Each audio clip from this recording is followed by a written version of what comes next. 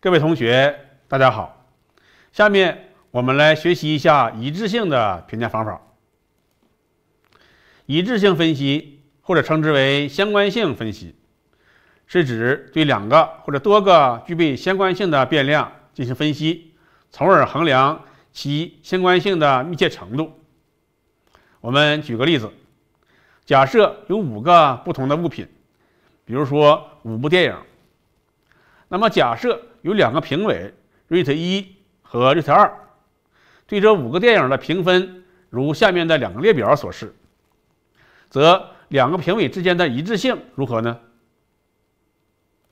好，那么对于这个例子，我们可以考虑使用皮尔森相关系数法来进行一致性的评价。那么在推荐系统中，皮尔森相关系数常用于衡量两个用户兴趣的相似度。也可以被用来衡量预测值和真实值之间的相关性，其既适用于离散，也适用于连续性的变量的相关性的分析。那么下边这个就是皮尔森相关系数的计算公式，其中 c o v x y 表示 x 和 y 之间的斜方差，sigma x 是 x 的最方差，mu x 是 x 的均值。E 表示数学期望。那么皮尔森相关系数的取值区间为负一到正一之间。取值为负一表示完全的负相关，即这个变量下降了，那么另外一个可能就会上升。取值为正一表示完全的正相关，取值为零表示没有线性相关。那么这里注意。如果某个用户总是倾向于给出比另外一个人更高的分值，而两者的分值之差又始终保持一致，则两者间依然可能存在很好的相关性。例如，在本例中，rate 二对不同物品的打分总是比 rate 一高一分，可见排除二者的个性偏好以外，二者的相关性还是很好的。那么事实上，在本例中，二者的皮尔森相关系数为正一，即表示完全的正相关。好，那么下面我们再介绍一下另外一种常用的一致一致性的评价方法，即科恩卡帕相关系数。那么其与刚才讲的皮尔森相关系数的区别在于，科恩卡帕相关系数。通常用于离散的分类的一致性评价。如果数据是非离散的，比如说想考察两个研究者关于血压数值测定的一致性，由于测定的血压数值是连续的变量，则不适合直接应用卡帕。那么科恩卡帕通常被认为比两人之间的简单的一致性百分比。更强壮，因为卡帕考虑到了两人之间的随机一致的可能性。那么，此外，我们还需要注意，科恩卡帕主要用于考察两个评价者之间的一致性。如果评价者多于两人时，那么则可以考虑使用另外一种卡帕，即弗莱斯卡帕。科恩卡帕相关系数的计算方法，我们这里举一个例子：假设有五十个人申请奖学金，有两个评委 A 和 B 负责评审。那么每个评委对每个申请者说 yes 或者 no。那么假设 A、B 的一致性的情况如这个矩阵所示，那么矩阵的主对角线上的数据。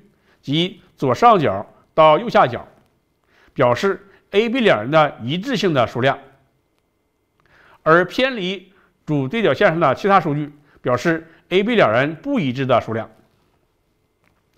那么有了这个矩阵以后，下面我们来看一下如何使用科恩卡帕来计算 A、B 两个评委之间的一致性。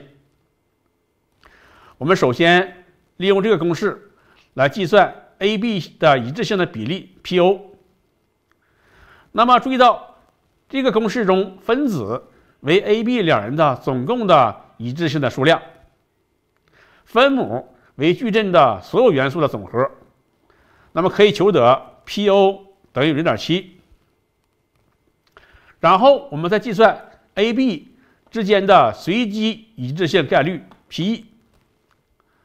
那么我们注意到 A 对二十五个申请者说 yes，因此比例为二十五除以五十等于百分之五十。那么 B 对三十个申请者说 yes，因此比例为三十除以五十等于百分之六十。因此。A、B 两人随机都说 yes 的概率，P-yes 等于这两个数的乘积等于零点三。那么我们同理就可以求得呢，P-no 等于零点二，就是 A、B 两人随机都说 no 的概率为零点二。那么则 A、B 的整体随机一致性的概率 P-e 就等于 p_es 加上 P-no 等于。零点三加零点二等于零点五。那么我们最后使用科恩卡帕公式，可以求得 k 值为零点四。科恩卡帕取值的一致性含义。那么得到了科恩卡帕的取值以后，如何解释其一致性结果呢？科恩卡帕的分值通常在负一到正一之间。如果卡帕的取值为正一，说明结果完全一致；取值为负一，说明结果完全不一致。那么取值大于或者等于零点八，则说明已经取得相当满意的一致程度。卡帕的取值如果小于零点四，则说明一致的程度不够理想。那么零或者更低，则意味着不一致。弗莱斯卡帕，如前所述，弗莱斯卡帕主要适用于评价者多于两人时的情况，那么可以衡量多个评价者之间的一致性。这个矩阵是十四个评价者对十个物品进行五级评价的结果，即大 N 等于十，小 n 等于十四，k 等于五。那么这里每一行表示一个物品。以第一行为例，其表示对于第一个物品给出一、二、三、四颗星的评价者数目均为零，给出五颗星的评价者总共有十四人。那么显然，每行的元素数量之和应该为十四，因为总共有十四个人进行打分。那么，基于这个矩阵的信息，下面呢，我们介绍一下计算弗莱斯卡帕的相关系数的过程。首先，步骤一，对每一列计算 P_j，即同列的数据相加除以任务的总数。这里任务总数为十四乘以十等于一百四十。